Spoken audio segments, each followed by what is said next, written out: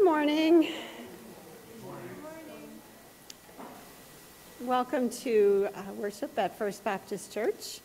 It's chilly but sunny, so we'll take it. We have uh, quite a few announcements this morning. Um, Tuesday, there will be an interfaith Thanksgiving service that will be at 7 p.m. at the Zion Episcopal Church, if anyone would like to attend. Uh, there are some new ministers in town, so if you're interested in meeting them, that would be a good opportunity. Thursday, happy Thanksgiving. And if you would like to join Craig and Kay Keith for a Thanksgiving meal, please let them know. There is still room at their table. There is a sign up sheet in the vestry for the cookie decorating and selling, so if you feel you can participate in that, please sign up.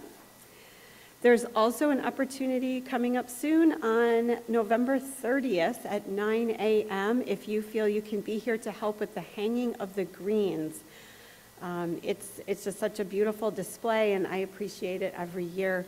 If you feel like you can participate and help with that, it is kind of a, a daunting task. Um, so many hands make light work. Um, November 30th, 9 a.m. If you would like to receive the link for the spiritual gifts assessment, please let Ken and Teresa Taylor know. There's still time to join in that fun. One way you can share your gifts is to participate in the Advent candle lighting and reading this year. Um, you'll find a sign up sheet in the vestry.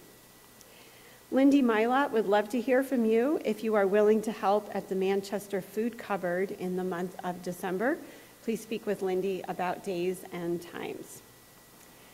Any gifts given to missions this month will go towards supporting the United Missions basic ministries that we learned about last week. Happy birthday to Lorraine Wilkins on Tuesday, November 22nd, and Kay Keith on Saturday, November 26th. And thank you to Cheryl and John for the flowers today in honor of their 49th wedding anniversary this past Thursday. Congratulations to Cheryl and John. This word of preparation uh, is called Eternity Changes Everything, and it's an excerpt from a devotional written by Laura Bailey. And she starts with telling a story from her life. The room overflowed with boxes. Clothes still secure in zipped suitcases assured me this was just a temporary layover. I was jobless and living in my brother's house. I felt like the prodigal sister, not exactly the life I'd planned. My brother graciously reminded me that my visit did not come with an expiration date. I could have unpacked in an attempt to settle into my new home, but placing my things in drawers and personalizing the room symbolized permanence. This was only a short term stop, not my final destination.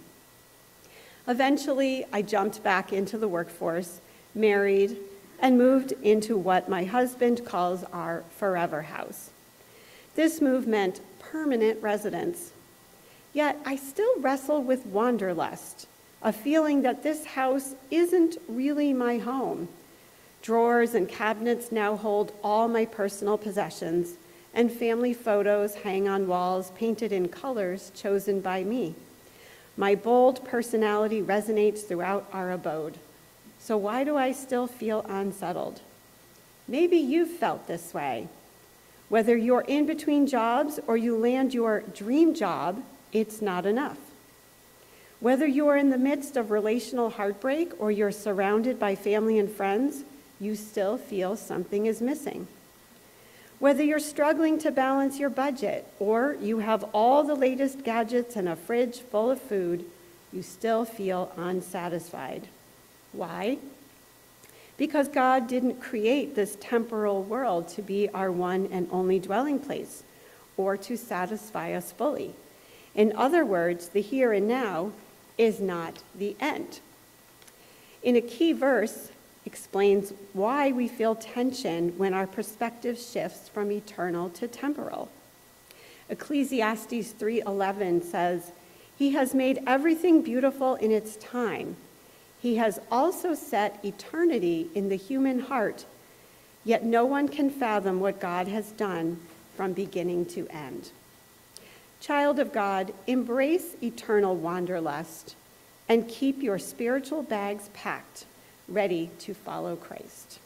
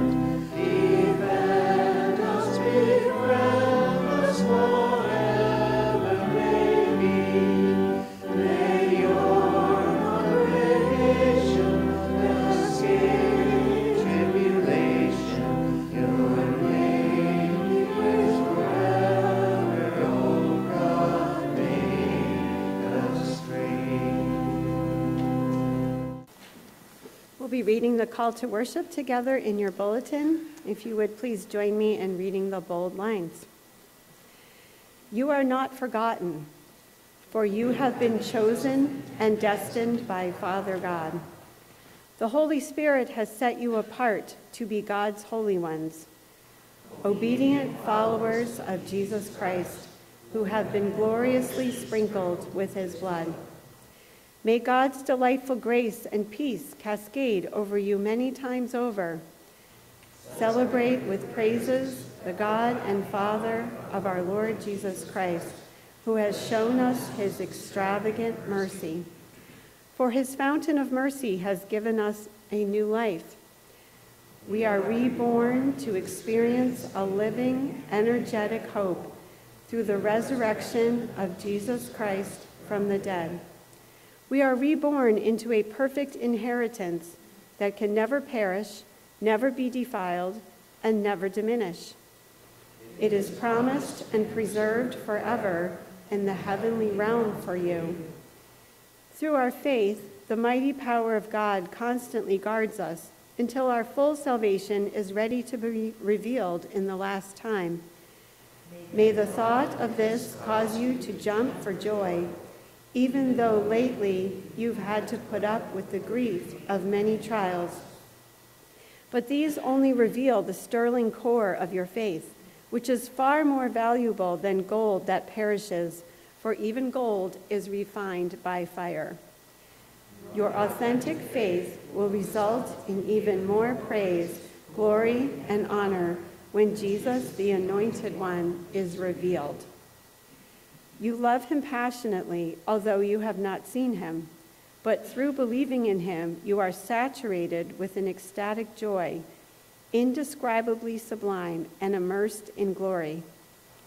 For you are reaping the harvest of your faith, the full salvation promised you, your soul's victory.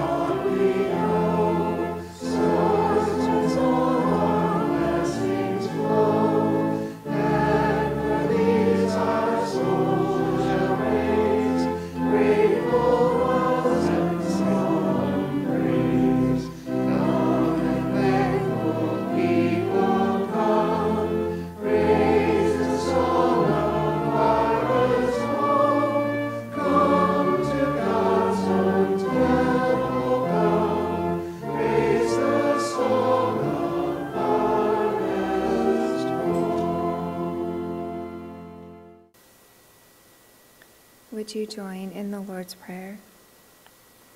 Our Father, who art in heaven, hallowed be thy name. Thy kingdom come, thy will be done, on earth as it is in heaven. Give us this day our daily bread, and forgive us our debts, as we forgive our debtors. And lead us not into temptation, but deliver us from evil. For thine is the kingdom, and the power, and glory forever. Amen.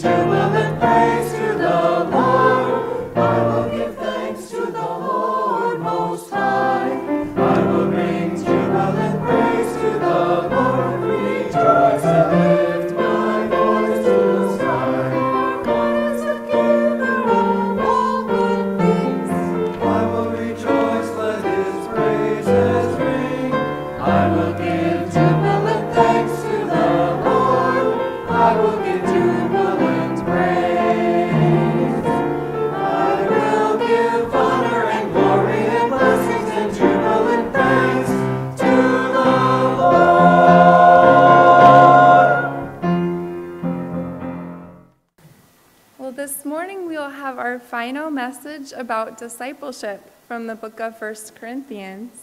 And we began this journey actually on the first Sunday in September.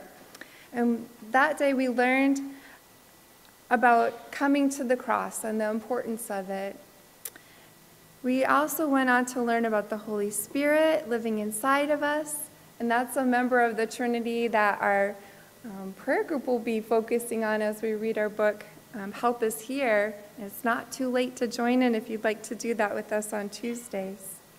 We learned about maturing in our faith, what it means that we belong to God, body and soul, how to share the gospel, how to navigate times of testing and find the way of escape, using our spiritual gifts in loving ways and worshiping as a church family. And today we return to the heart of the gospel, retracing Jesus' path from the cross to the tomb, to resurrection. As disciples, we're following Christ, so we are walking on that same path. God's design and invitation is to die with Christ and to rise in eternal life. In 1 Corinthians 15, which is kind of the big culminating chapter in this book, Paul writes about the seed going into the earth and dying and rising as a plant, as an illustration of what the resurrection body is like and related to our, our present physical body. Christ also spoke about life and resurrection in terms of this when he was giving the disciples insight into his impending death on the cross. This is in John 12, 23 and 24. He said, The hour has come for the Son of Man to be glorified. Very truly, I tell you, unless a kernel of wheat falls to the earth and dies, it remains only a single seed. But if it dies, it produces many seeds.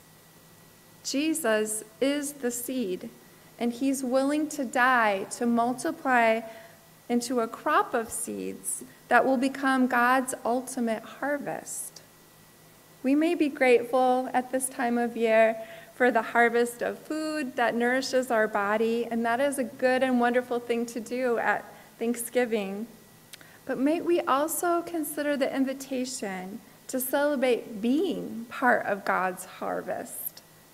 1 Peter 1 23 to 25 says, For through the eternal and living Word of God, you have been born again.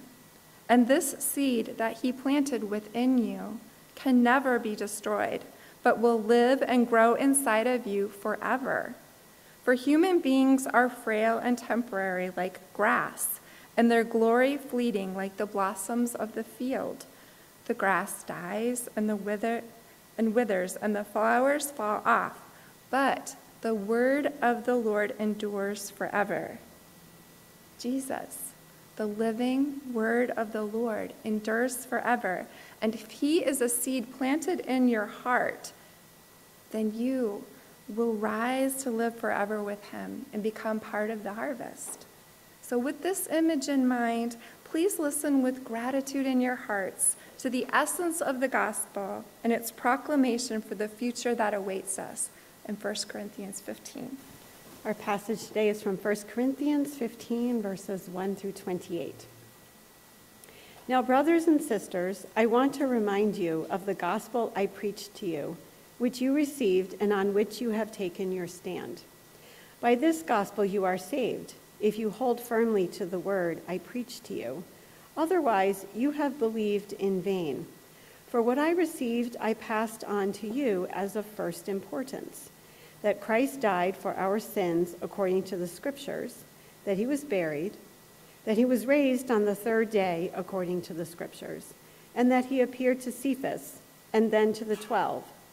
After that, he appeared to more than 500 of the brothers and sisters at the same time, most of whom are still living, though some have fallen asleep.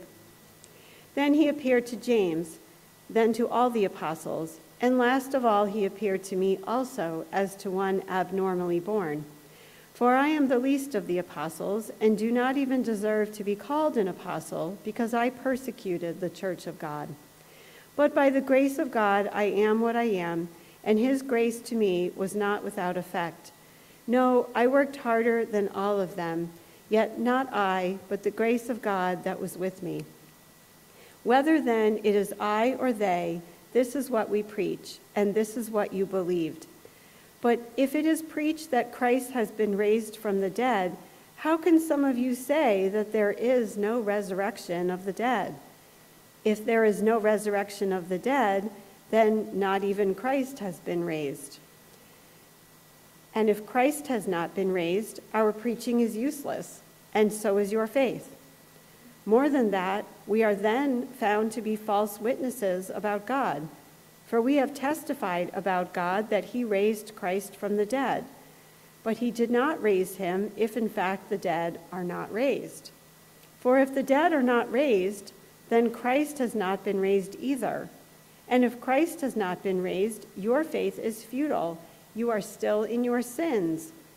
Then those also who have fallen asleep in Christ are lost. If only for this life we have hope in Christ, we are of all people most to be pitied. But Christ has indeed been raised from the dead, the first fruits of those who have fallen asleep. For since death came through a man, the resurrection of the dead comes also through a man. For as in Adam all die, so in Christ all will be made alive. But each in turn, Christ the first fruits, then, when he comes, those who belong to him. Then the end will come when he hands over the kingdom to God the Father after he has destroyed all dominion, authority, and power. For he first he must reign until he has put all his enemies under his feet. The last enemy to be destroyed is death, for he has put everything under his feet. Now, when it says that everything has been put under him, it is clear that this does not include God himself who put everything under Christ. When he has done this, then the Son himself will be made subject to him who put everything under him, so that God may be all in all. The first thing I notice about this passage is that receiving the gospel transforms us. And gospel, as you know, means good news. It's the good news about Jesus being the Messiah, God's anointed one, the suffering servant, the seed that is the living word, God's Son, and our Savior. Paul shares the gospel in a brief synopsis, urging the Corinthians to hold firmly to the word. Christ died for our sins according to the scriptures. He was buried and raised the third day according to the scriptures. So, what is Paul talking about the scriptures? Because the Gospels weren't all written in part of scripture at this time. He was actually referring to the Hebrew scriptures. And he doesn't use words to let us know exactly what's in his mind, but a couple of the passages he might have been thinking of when he wrote according to the scriptures might be Isaiah 53. I'll read um, verses 5 and 6 and 11. But he was pierced for our transgressions, he was crushed for our iniquities. The punishment that brought us peace was on him, and by his wounds we are healed. We all, like sheep, have gone astray. Each of us has turned to our own way, and the Lord has laid on him the iniquity of us all. Verse 11 After he has suffered, he will see the light of life and be satisfied. By his knowledge, my righteous servant will justify many, and he will bear their iniquities. And then Psalm 16, 9 to 11 says, Therefore my heart is glad, and my tongue rejoices. My body also will rest secure, because you will not abandon me to the realm of the dead, nor will you let your faithful one see decay. You will make known to me the path of life. You will fill me with joy in your presence, with eternal pleasures at your right hand. Jesus' death was not a surprise to God, It was part of the divine plan for redemption all along. And when people who knew Jesus recognized this truth, it changed everything for them. Paul gave some examples of people who had been transformed by realizing and encountering the risen Christ. The first one is Cephas. That means the rock in Aramaic. It was the name that Jesus gave to Simon. You might be more familiar with the Greek name, which is Peter. He was not exactly a rock of stability when Jesus was arrested or during his trial. Peter was the one who denied Jesus, even when he was questioned by a young lady at the fire. But after Jesus rose from the grave, he made a special visit to Peter and restored him and showed Peter that he was alive. Peter was completely transformed into a courageous witness, willing to be the preacher on Pentecost, willing to spend the rest of his life sharing the gospel, willing to die, even being crucified, just like Jesus, knowing that death would not be the end, that he would be resurrected. Jesus opened the way for Peter and all who would believe in the gospel to be in heaven for eternity. But Peter was not the only one who saw Jesus in his resurrected body. Jesus came to the disciples, came to Mary Magdalene. Paul even mentions that Jesus appeared to more than 500 people at one time. We don't know exactly what that encounter was, but it could be the appearance in Matthew 28, where he gave the Great Commission in Galilee before ascending up into heaven. Some of the people who were there that day would still be able to serve as eyewitnesses when Paul first wrote this letter. And he said some of them are asleep, which means that they had already died. And then Paul mentions James. This is not the disciple James, this is Jesus' brother who watched him grow up and watched him do ministry and miracles, but still didn't believe he was the Messiah all the way up through the death. But here Jesus made it a point to come to James in his resurrected body. And that's what it took for James to be transformed into a believer and a leader in the first church in Jerusalem. And he was willing to give his life rather than give up his faith he was fully convinced that Jesus was alive. Paul then gives his own testimony of meeting the resurrected Christ. And it was not before Jesus ascended into heaven, it was afterward. Jesus somehow came to him in such a blinding light that he was not able to see until Ananias um, touched him. But when he came to Paul, he said, Why are you persecuting me? And Paul realized that by chasing down people who believed in Jesus, people who had the eternal seed in their hearts, Paul was persecuting Jesus because those people were forever connected to Jesus. And when he accepted this truth and repented, he was transformed into someone willing to go to great lengths to tell everybody about this message. He knows he doesn't deserve to be saved, much less to have the honor of being this apostle sent with the gospel. In verse 10, he says, But by the grace of God, I am what I am. And his grace to me was not without effect. So, how about you? Have you opened your heart to receive the seed that is Jesus, the living Word, able to transform your life now and for the eternal future? We don't receive the seed because we are good and because we deserve it. We receive the seed simply because we're open and willing to be changed, both now and then forever. Without the seed of the living word inside of us, we are what Adam was dust, animated with the breath of God. But when we receive Jesus, we become part of his resurrection story. Peter, James, Paul, and many other believers dedicated their lives to preaching the gospel because they were completely sure that Jesus' resurrection was real and that Jesus is alive forevermore. They were willing to suffer and to die for this ultimate truth, knowing that eternal life in God's presence was what awaited them. Now, Paul, with all of that inside of him, that great motivation for his life, he's heard that some of the Corinthian believers don't think that they will be resurrected. They don't believe in it. And some of the Corinthians had a Jewish background, so they had grown up with some hope of resurrection. The prophet Daniel in um, chapter 12, verses 1 through 3, wrote, There will be a time of distress, such as has not happened from the beginning of nations until then.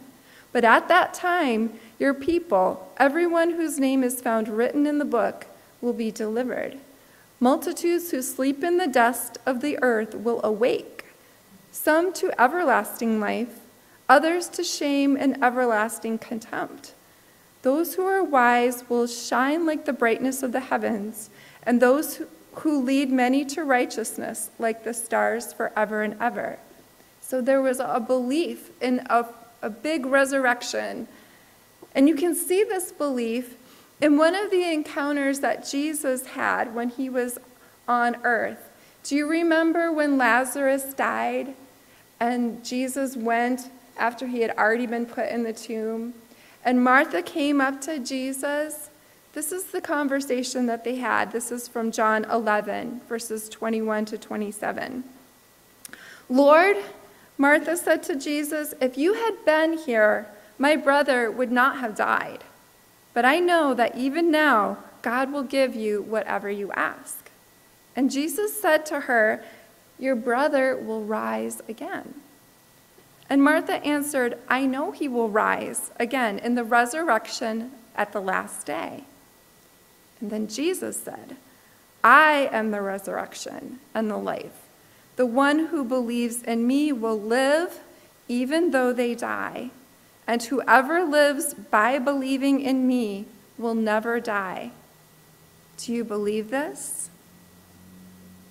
Yes, Lord, she replied. I believe that you are the Messiah, the Son of God, who has come into the world. Martha had great faith in Jesus because he is the Son of God. And Jesus could ask God the Father to restore her brother's life, even though he'd been in the tomb for four days at this point. She believed in the resurrection to come, but her grief inspired her to see if it was possible for Lazarus to rise right then and there. And in response to her great faith, Jesus thanked the Father for hearing him, and then he called Lazarus' name, and out he came, alive and well. Jesus didn't just have the power to resurrect a person, he said, I am the resurrection and the life. Do you believe this? Some of the members of the Corinthian church family were struggling with believing this.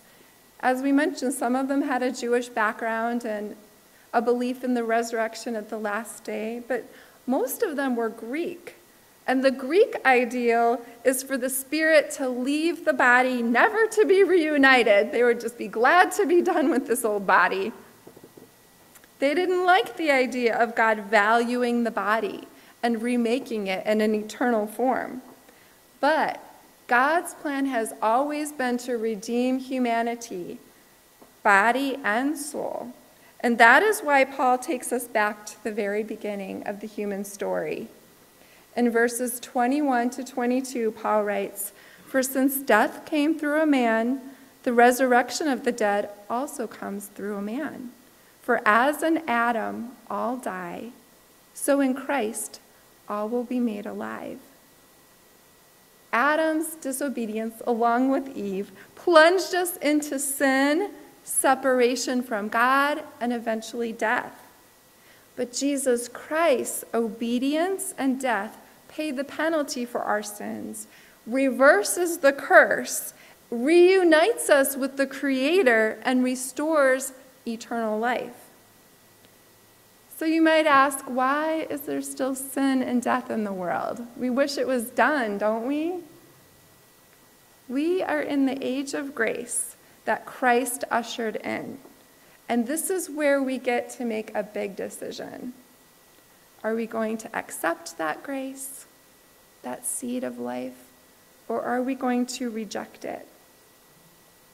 Someday this age will come to a close when Christ ushers in the new age, the thing we pray for every Sunday, the kingdom of God. And that's when the big harvest, the resurrection God's been planning for millennia, will occur. And Paul describes this back in 1 Corinthians 15, verses 20 and then 23 to 26. But Christ has indeed been raised from the dead, the first fruits of those who have fallen asleep. When he comes, those belong to him will be raised. Then the end will come when he hands over the kingdom to God the Father, after he has destroyed all dominion, authority, and power. For he must reign until he has put all his enemies under his feet. And the last enemy to be destroyed is death. Jesus is the first person to experience resurrection and the eternal form of his earthly body that can now never be sick, never feel pain, or die again. He is the first fruits of the great harvest. And when God decides it's time for the big harvest, his thanksgiving, that everyone who has the everlasting seed within the soil of their heart will rise to attend his harvest home. Death will no longer be able to destroy anything because it will be destroyed. The serpent crushed under the heel of our Savior, fulfilling the very first salvation promise given in Genesis 3:15. I'd like to move forward in 1 Corinthians 15 to a part of the passage that Annie didn't get to read this morning, and it corresponds to this great day of the Lord. This is verses 49 to 53. Just as we have borne the image of the earthly man, so shall we bear the image of the heavenly man. I declare to you, brothers and sisters, that flesh and blood cannot inherit the kingdom of God nor does the perishable inherit the imperishable. Listen, I tell you a mystery. We will not all sleep, but we will all be changed. In a flash, in a twinkling of an eye, at the last trumpet. For the trumpet will sound, and the dead will be raised imperishable, and we will all be changed. For the perishable must clothe itself with the imperishable, and the mortal with immortality. There are two exciting things I'd like to highlight from this passage. First of all, when we are resurrected, we're going to have bodies like Jesus' resurrected body. Can you think about the appearances that were written about and what they noticed about him? They could recognize him. Sometimes his appearance was confusing to them, and they thought they were talking to just a regular man, and then their eyes were opened and they realized it was Christ. He was able to eat with them and walk with them and talk with them and be touched by them. He was not a ghost. He could also appear and disappear and he could go through locked doors, and that resurrection body could rise up in the sky. So if you would like to fly, you have something to look forward to. The continuity with his earthly body was there, but he also could leave behind some of the limitations that we experience now in this human body. The wounds that he had received from his beating just prior to the crucifixion were all healed. But he chose to keep some scars, nail prints on his hands and feet and side. I don't know if we will have a choice whether we keep any of our scars, but God's word assures us that our pain, our tears, and our wounds will all be healed. And if you want to read more about that, I encourage you to open your Bible this afternoon when you get home and, and look at Revelation 21. That tells us all about our life in heaven. And the other exciting thing I'd like to point out from the passage in 1 Corinthians is there are some people who will not need to die before receiving the resurrected body. You've heard that saying, like, there's nothing certain but death and taxes? There's an exception here. Some people will not have to die.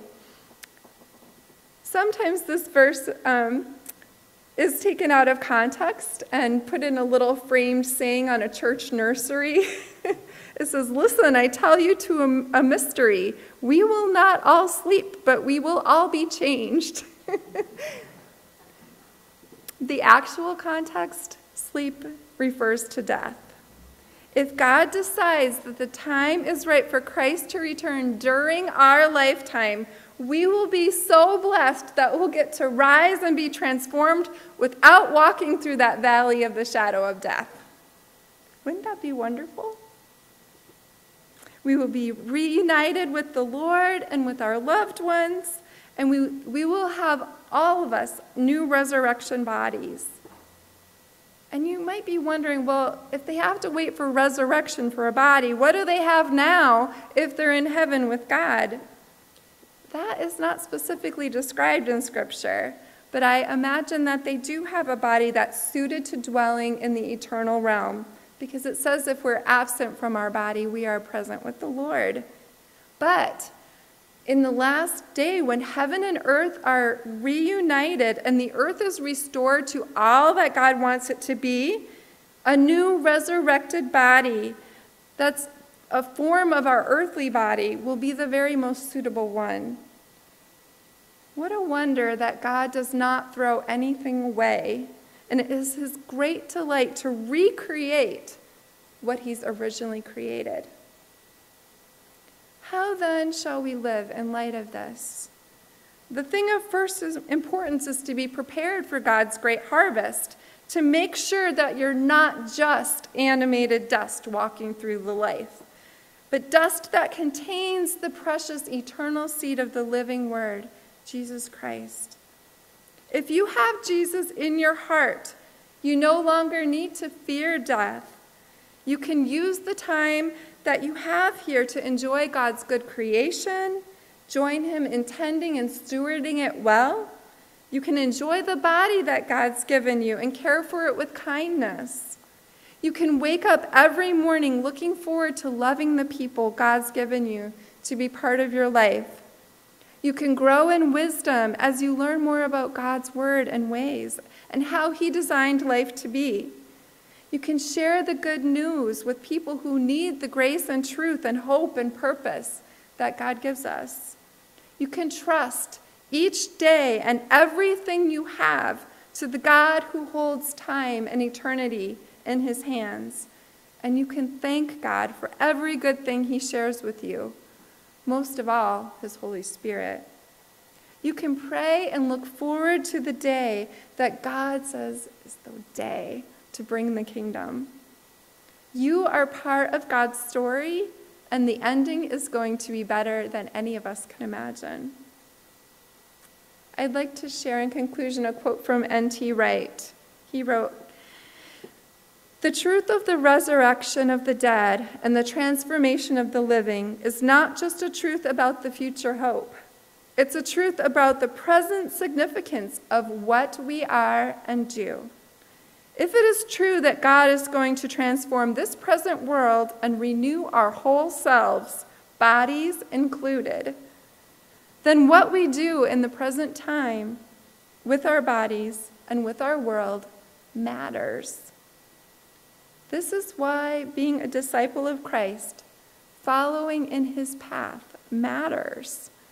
We may be one day incredibly blessed to never have to experience death, or we may die before Christ comes again. But no matter what happens, a glorious future awaits us on the other side. Would you pray with me? Thank you, Jesus. Thank you for coming and leaving the eternal realm to take on a body, to show us that our human bodies are valuable to you, to affect our salvation by your death and your resurrection. And Lord, thank you for including us in your resurrection.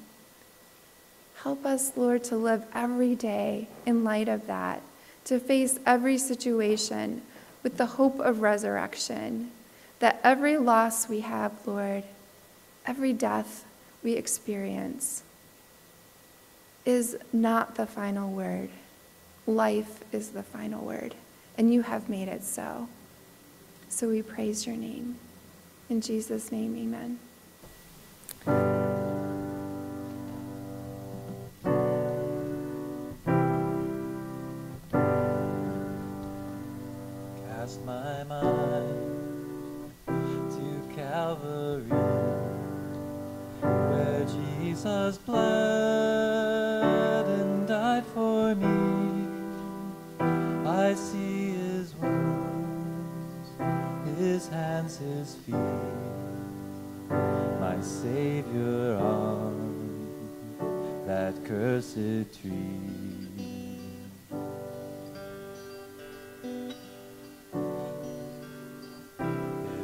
Body bound and drenched in tears. They laid him down in Joseph's tomb, the entrance sealed by heavy stone. Messiah still and all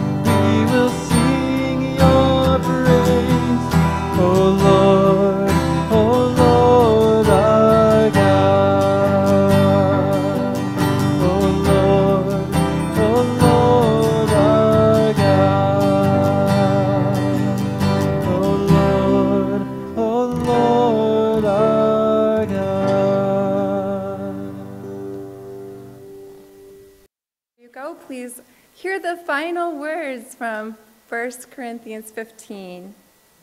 And when that which is mortal puts on immortality, and what now decays is exchanged for that which will never decay, then the scripture will be fulfilled that says, Death is swallowed up in triumphant victory. So, death, tell me where is your victory?